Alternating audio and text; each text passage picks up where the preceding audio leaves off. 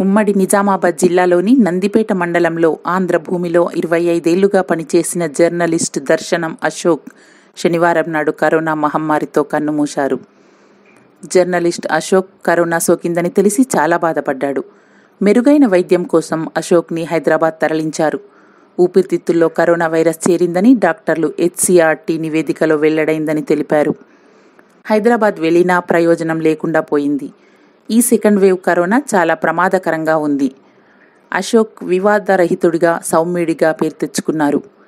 పేద కుటుంబ నేపథ్యం కలిగిన అశోక్ ప్రజా సమస్యలను వెలికి తీయడంలో రాజీ పడేవాడు కాదు. అయినా అందరితో చనువుగా ఉండే అశోక్ కరోనాతో మృత్యువాత పడటం ఉమ్మడి జిల్లా జర్నలిస్టులను శోకచంద్రంలో ముంచింది. అశోక్ కుటుంబాన్ని ఆదుకోవాలని జర్నలిస్టు సంఘాలు ప్రభుత్వానికి విజ్ఞప్తి చేశాయి.